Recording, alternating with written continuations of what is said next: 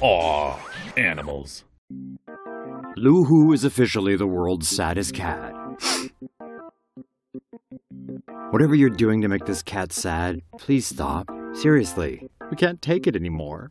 Look at those world weary eyes. Damn, even fresh watermelon doesn't brighten her day. Luhu the cat even looks sad playing with a panda bear. How is that possible? A cat panda combo is like a Pavlovian cue for happiness, no?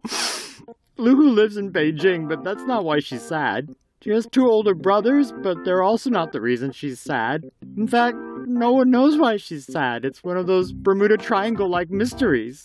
It must be you. You must have done something. Cats don't just get sad.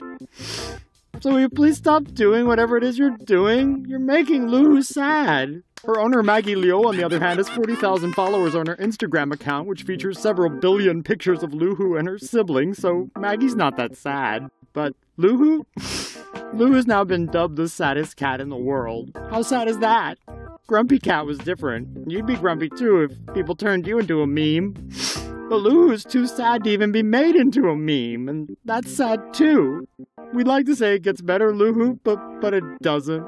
It just stretches on and on, one long sad day after another. It's just sad. Look at those eyes. No, I will not take my Prozac. Leave me alone. Only Luhu knows how I feel.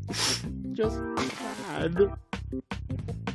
Leave an insightful comment on tomonews.net and you could win up to $500 every month.